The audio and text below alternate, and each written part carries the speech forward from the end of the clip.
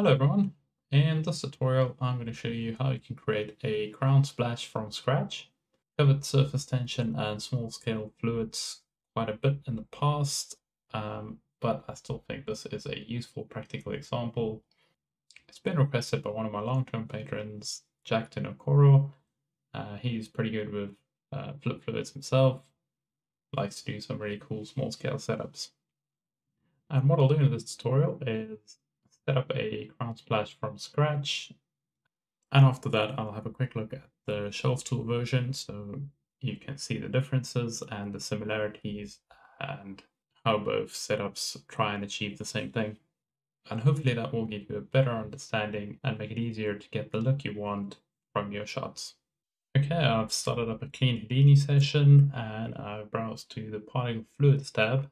And to get us started, I'm going to create a flip tank. And this is just going to be our starting point. 5 by 5 is a good size for testing. I'm not going to be worried about real world scale and going microscopic with the sizes. When you get to these sort of small scale sizes, you're never going to work at physically accurate scales anyway, because it's just going to be too small in Houdini units. And in real life, it's usually something we see through slow-mo cam cameras and not something we look at every day. There's a certain amount of trickery we can get away with. For our splash, I want to create a fairly shallow tank. So I'm going to pull this up. Maybe give us a little bit more height. Something like that. And the reason for the shallow tank is so that we can create a big splash but not have as much of a recoil and a secondary splash afterwards. And it's a little bit less fluid, so it might be a bit faster to sim as well. And you can play with the depth of the tank to get different looks. Okay, next up we're going to need an emitter as well. And I'm just going to rearrange this stuff a bit. I'm not going to worry about a fluid interior at the moment, so we can get rid of that. That's our initial flip tank. And then I'm sphere.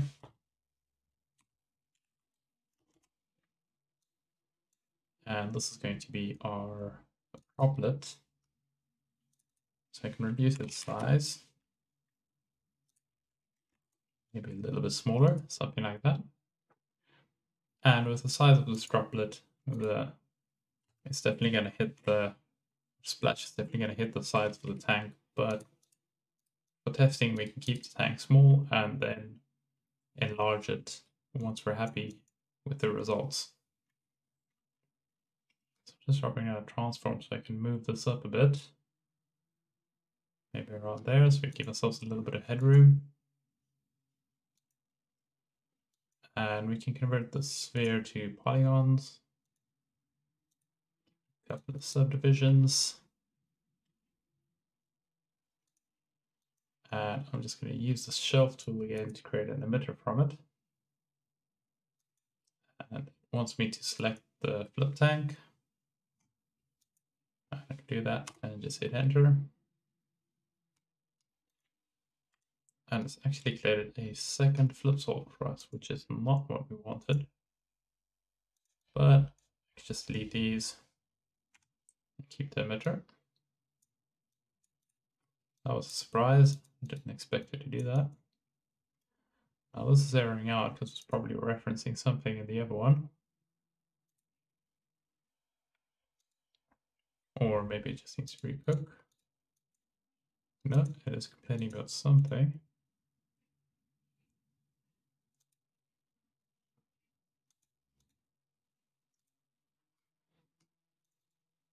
Ah, and it's an error in the sphere. All these references are now broken. Just need to relink these. I think I'll probably just pause the video and fix these. Okay, that was a bit painful, but all the links are fixed now. Okay, and, and on the emitter, while we're here, I'm going to turn off shell thickness because I just wanted to emit from the sphere. I don't want it to be bigger than that. The rest is fine. We can leave it like it is. And then I need to do some cleanup work here as well. Because it's created more nodes, which we don't want. I can delete that, and I can delete that interior. Call this droplet. Now we got our initial flat tank and our droplets. And we can hide that one. And I'll dive into the AutoDop network. Okay, now I'm gonna remove the merge because I'm not gonna need that. Then on the flip tank, I think we can probably get away with a bit more resolution to start with.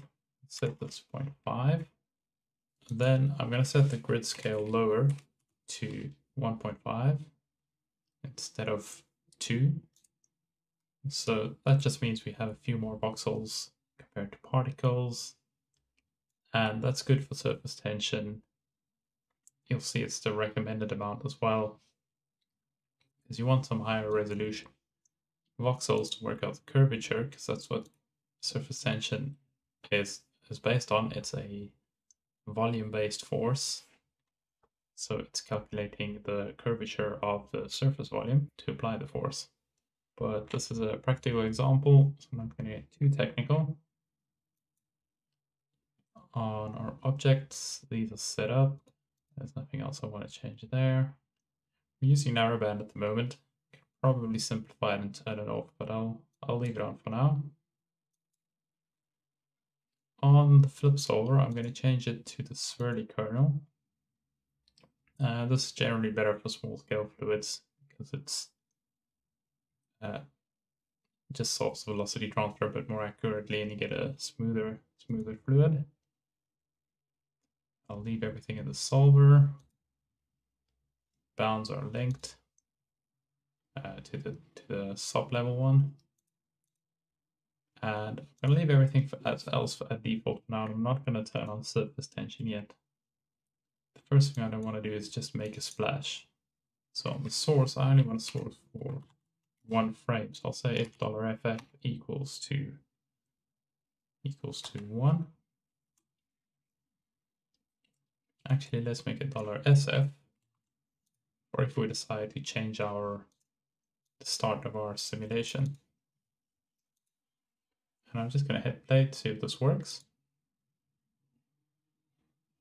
And you can see we get a droplet dropping down and splashing into our liquid.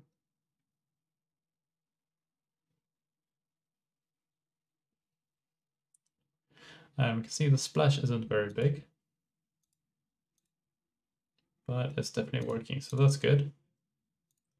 So I'm going to go back up and in my initial, I'm going to make it even thinner, the layer of liquid. And then for my droplet, I'm going to give it some initial velocity. And I'm going to make the initial velocity fairly strong, like minus 12. So it's shooting down faster than gravity. So we get a nice big impact, so you can get a nice splash. Then I'll jump over to the AutoDop network on the particles, I just want to set this offset scale to zero because I don't want to interpolate the um, from the velocities because it's not like I'm emitting a stream. I just want to get that droplet out and I want to shoot it out fast. Uh, let's hit play and see what we get now.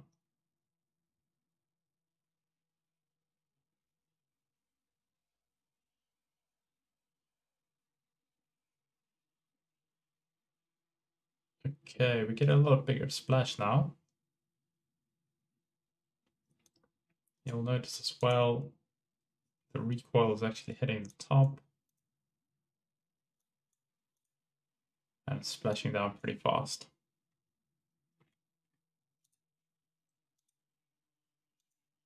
Simulating very quickly. I'm just going to lower the resolution a little bit more to squeeze out a few more particles. And then I want the splash to be even a little bit bigger. Okay, for minus 14.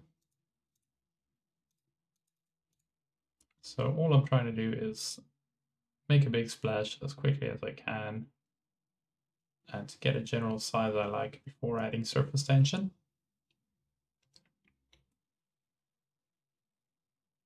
So this is looking okay. Another thing worth testing is you'll notice if we, if I just double my sub steps, that drop's coming down really quickly. So it's not resolving the splash that well. You can see as soon as I do that, I get a bigger splash. So the reason that's happening is that impact is just being solved a lot more accurately.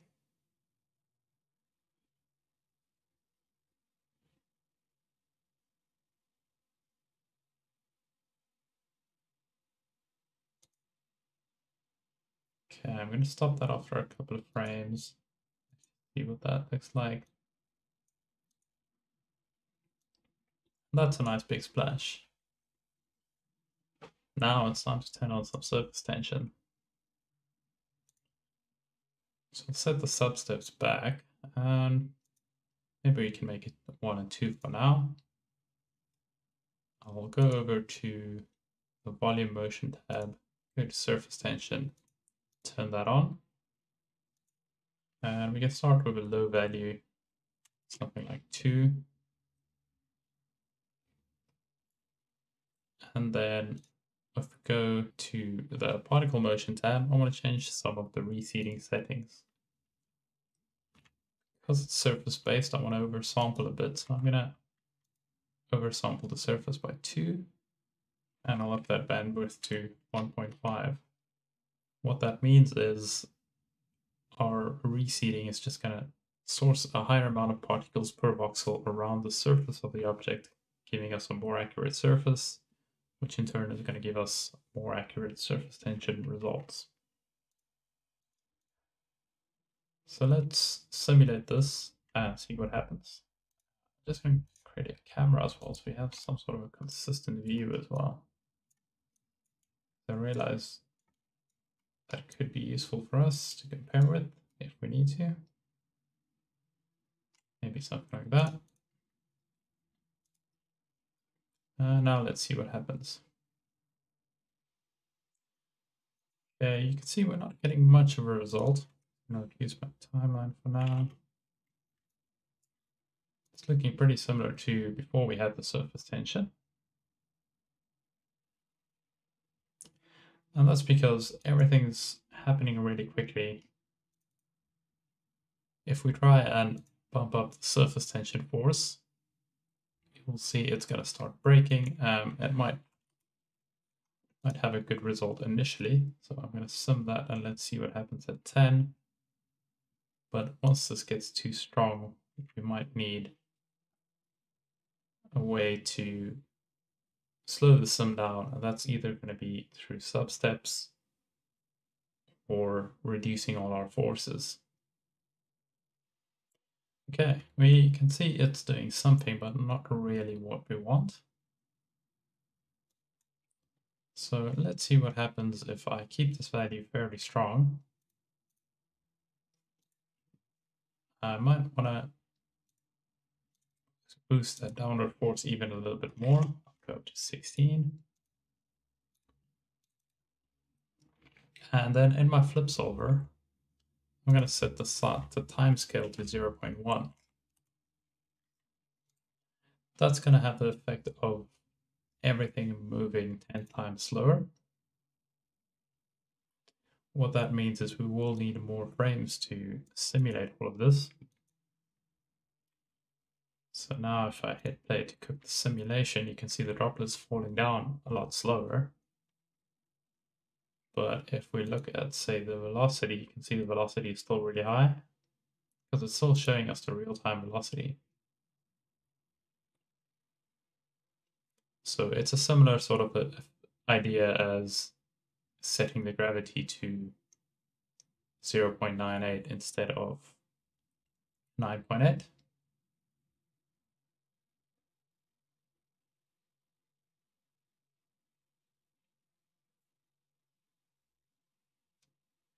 And you can see now hitting the side a bit quickly. Maybe I've gone a bit big on the splash. But as this is developing slower, we're starting to see a rim forming and we're seeing some more of the telltale crown splashy type shapes forming in there.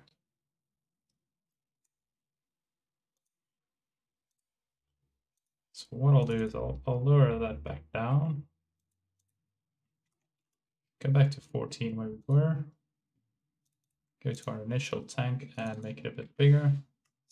8 by 8, so we have some more space in there for this to develop.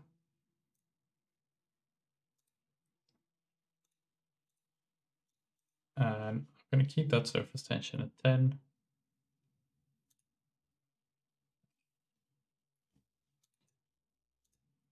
Maybe give us even a little bit more resolution. It's running fairly quick on my machine, and it's still, it's not even a million particles. Let's, let's be crazy and make it 2.5. And let's cook this and see what result we get. Okay, the simulations run for just over 50 frames now. We can see that now it's starting to really work and we're getting some nice big droplets forming and it's starting to look like a crown splash. So I'm just going to go to the end here. And we can see we're running out of tank space again. So if if this is too much surface tension for you, then at this point you can reduce the amount of surface tension. If you want the effect of surface tension to be stronger, then increase the surface tension amount you'll get bigger droplets and you'll get the surface sticking together more. So it could affect the size of your splash a little as well, depending on how extremely you go. But yeah, this is, we already have a working setup and this hasn't even cooked for 10 minutes yet. Okay, but I'm going to stop this one here. Let's tweak the settings one more time. So what I'm going to do is, just for fun, we can double our surface tension. And I left the substeps to one and two, which is which is okay. Um, I can reduce the the uh, time scale more but I'm going to increase my substeps a little just to make sure that it's accurate. I'll make it 2 and 4. I'm trying to keep it as low as possible, but also get some nice surface tension. And I just doubled the surface tension. But I don't want to reduce the time scale even more, but I'm trying to get some nice results. Okay, I think that, that should do it, and I'm going to cache this out. Let's just set that up get my custom file cache.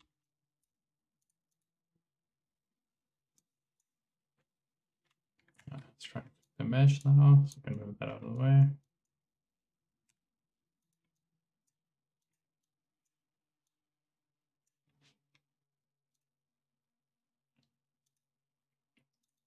And I'll just call this crown sim.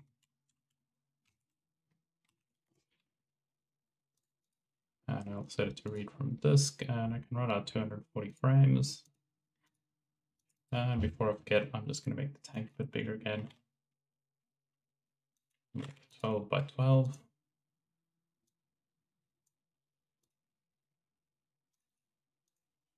And then I'll write out 240 frames and I can write that out in the background.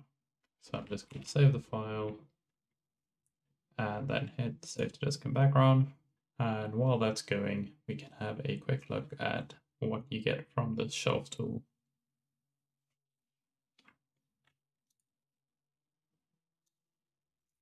Okay, I've opened up another instance of Houdini.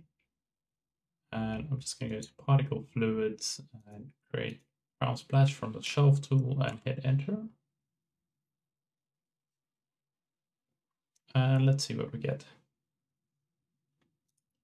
So again, you'll see that tank made pretty shallow. And we can ignore this. That's our emitter. That's our initial tank.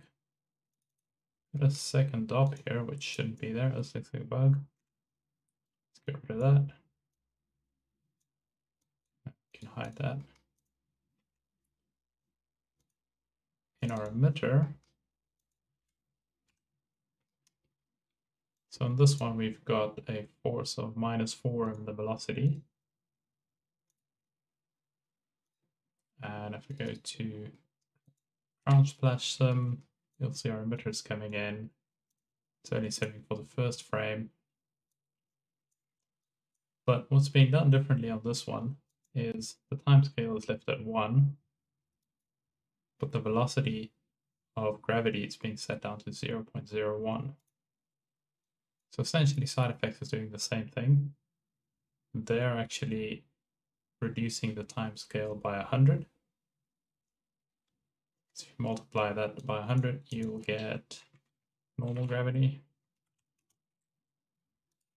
like that.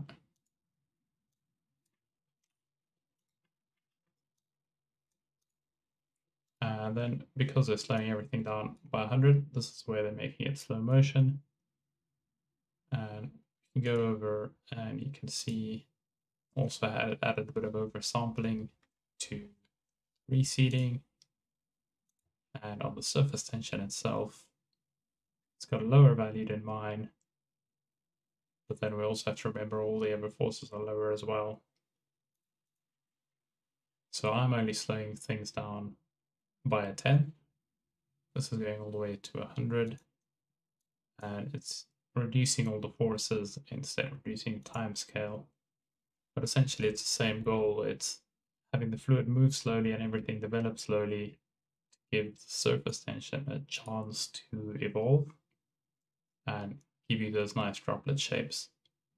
A force like surface tension tends to need a lot of substeps or a lot of time to, to evolve. It's kind of the same thing with SPH based um, liquids as well. In that case, you tend to just have a lot of substeps.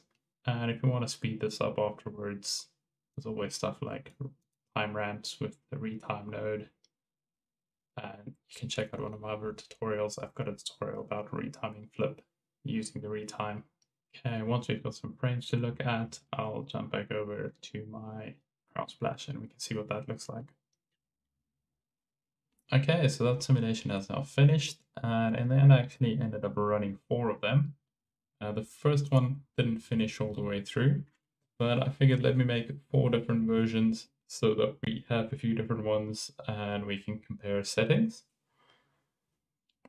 So this is the one I showed before with surface tension of 20 and the downforce of 16 with the new substeps. And you can see it's pretty strong, uh, but we can, even at this resolution, which we can probably push a little bit higher for something final, we can, we can see that there's some really nice shapes happening um, but because of the strong surface tension, it's sticking together quite a lot. So I made a second version. And for the second version, I reduced the surface tension to 12 and everything else stayed the same. And it took just under 24 minutes to finish. Now let's play this one. You can see with less surface tension, we get a bigger splash. Um, but if we give it time to develop, we still get some tendrils coming off and some droplets forming in our crown. And this one's a pretty nice one as well. And let's jump to version 3. So for version 3, I decided to increase the surface tension again but make the downforce a bit stronger. So I increased that to minus 18. So it hits the surface a little bit harder, but the surface tension keeps it, the fluid together a bit more. And that, that was a bit slower. It took 26 minutes. And that's what this one looks like. You can see we get an even bigger splash because of because of the more aggressive force. But we get some more uh, droplets detaching and our simulation actually gets a bit too big for our tank. We probably need to increase the size of our tank if we want to use this one. But it's, it's looking pretty cool, I think. Next up, we've got a last one where I bumped up the surface tension even more, but I reduced the downforce again to just 16. So just, just subtly nudging values around, seeing what different results I get.